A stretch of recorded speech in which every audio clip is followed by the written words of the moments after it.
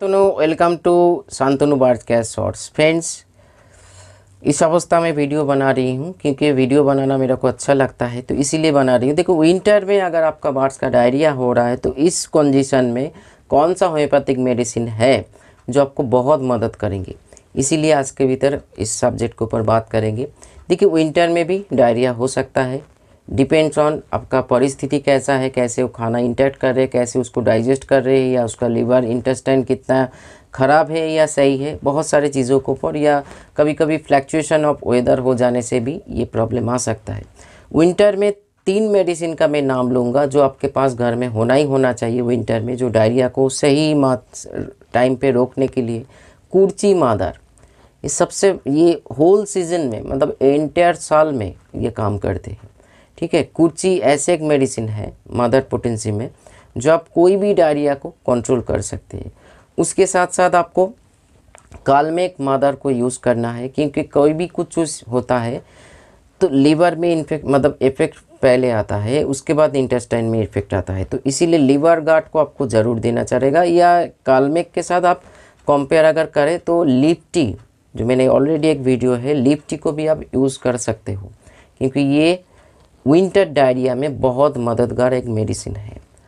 Third point जो medicine का मैं नाम लूँगा, वो है एक साथ कॉम्बाइन मेडिसिन है ये कार्बोवेज 200 के साथ नाक्स भूमिका थर्टी ये दोनों मेडिसिन मैंने तीनों मेडिसिन लेकिन एक कॉम्बाइन बताया।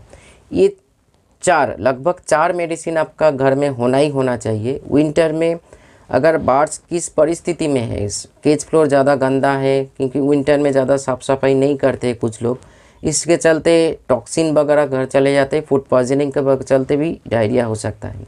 तो ये सारे चक्कर में लास्ट और एक टिप्स देना चाहूँगा। आर्सेनिक एल्बम भी आपके घर में होना चाहिए। आर्सेनिक एल्बम ऐसे एक मेडिसिन है होम्योपैथिक में, जो कोई भी फ़ूड पॉइजनिंग, कोई भी डायरिया में, कोई भी लूज मोशन में एक ज़बरदस्त काम करते हैं। देने का तरीका तरी अलग अलग हो सकता है।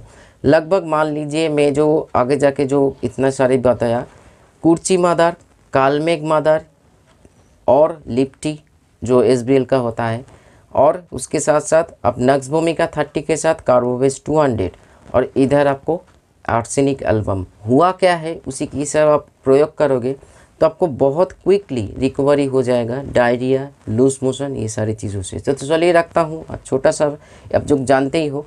लेकिन इस चैनल पे मैं आगे जाके एक बंगाली वीडियो भी बनाने वाला हूँ जो लॉन्ग होगा। बहुत मदद मिलेगा इंटर विंटर के लेके मैं बनाऊँगा। तो ये नेक्स्ट वीडियो आ रहा है। तो चलिए आज इतना ही। नमस्कार। और एक चीज़ फ्रेंड्स बहुत जो लोग नया जुड़ रहे हो, मैं कभी डोजेस बताता नहीं हूँ, आप लोग फॉलो कर चुके होंगे। मैं डोजेस हमेशा मेरे ये जो नंबर दिख रहा है, ये मेरा व्हाट्सअप नंबर है यही मेरा कॉल नंबर है। हमको व्हाट्सअप कर दीजिए, आपको प्रॉपर डोज मिल जाएगा। जो पानी में देना है तो कैसे देना है और डायरेक्ट खिला रहे तो किस परिस्थिति में डोजेस कैसे कैसे होगा? अगर आपको लगता है जो ये गूगल में अवेलेबल है तो प्लीज़ आप लोग जान लीजिए। वहाँ पे से भी मिल जाता है जो, अगर मिलता है, क्योंकि कुछ लोगों का कहना है जो गूगल में अवेलेबल है तो देख लीजिए गूगल में अवेलेबल है कि नहीं।